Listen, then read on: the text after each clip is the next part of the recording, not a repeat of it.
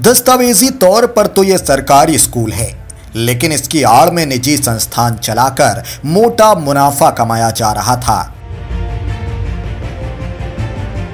वाकया आजमनगर प्रखंड क्षेत्र के वार्ड नंबर 12 का है, जहाँ उत्क्रमित माध्यमिक, उच्च विद्यालय और उत्क्रमित मध्य विद्यालय संचालन में अनियमितता को लेकर चर्चा का माहौल है। कि यहाँ जो है शिक्षक जो है स्कूल टाइम में विद्यालय में जो है ट्यूशन पढ़ाते हैं, जो बिल्कुल गलत है। लगातार ग्रामीणों की ओर से भ्रष्टाचारी शिक्षकों के खिलाफ लगातार विरोध करने के बावजूद शिक्षक अपने मनमाने ढंग से विद्यालय का संचालन कर रहे हैं।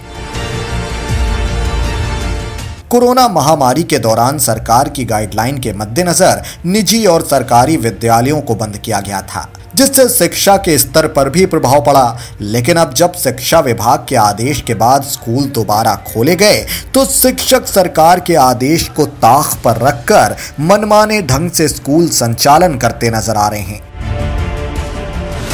हमने आके देखा कि उपस्थिति में कि विद्यालय में जो है कोचिंग सेंटर चल रहा है। बच्चे के क्लास के हिसाब से रेट है, किसी का 200 है, किसी का 300 है, जो भी जिसका ये है। इस काले खेल में प्रखंड शिक्षा पदाधिकारी के साथ साथ वरीय पदाधिकारी भी मूक दर्शक बने हैं। लगातार शिक्षकों की अनुपस्थिति बच्चों के भविष्य को अंधकार में ढकेल रही है। वहीं लगातार ग्रामीणों के विरोध के बावजूद शिक्षा विभाग के कानों में जू तक नहीं रेंगती।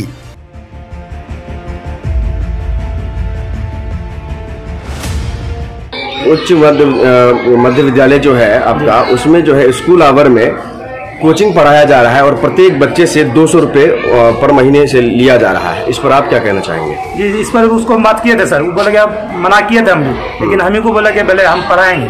पढ़ाइए भाई आप आप स्वीकार कर रहे हैं ना कि ट्यूशन पढ़ाया जा रहा है? जी जी पढ़ाया जा रहा है। अच्छा इससे पहले आपने ये बात कही थी कि स्कूल टाइम में अभी जो उत्कलन मध्य विद्यालय में जो बच्चा पढ़ रहा है वो अभी मतलब ट्यूशन पढ़ रहा है। आप इसको जान रहे हैं ना? जी सर जान रहे था हद तो तब हो गई जब ग्रामीणों ने बताया कि विद्यालय में स्कूल के वक्त विद्यार्थियों से शुल्क लेकर पढ़ाया जा रहा है। वहीं छात्रों से विद्यालय का नाम पूछे जाने पर वो स्कूल का नाम तक नहीं बता सके। सभी विद्यार्थियों ने खुद भी कहा कि हर माह निजी शुल्क लेकर उन्हें पढ़ाया जाता है। कौन सा विद्यालय है बाबू? उत्तर मध्य विद्यालय। अभी जो आप पढ़ने आए हैं स्कूल पढ़ने आए हैं कि ट्यूशन पढ़ने आए हैं? ट्यूशन करने आए ट्यूशन पढ़ने के लिए कितना रुपया महीना देते हैं? दो सौ रुपये। दो सौ रुपया महीना। किसको देते हैं? सगीर सर का। फ़िलहाल इतनी बड़ी अनियमितता और इतनी बड़ी लापरवाही को लेकर विभागीय अधिकारी भी मौन हैं और अनियमितता का खेल बदस्तूर जारी है। Jayaprakash Bhagat Times News Azamnagar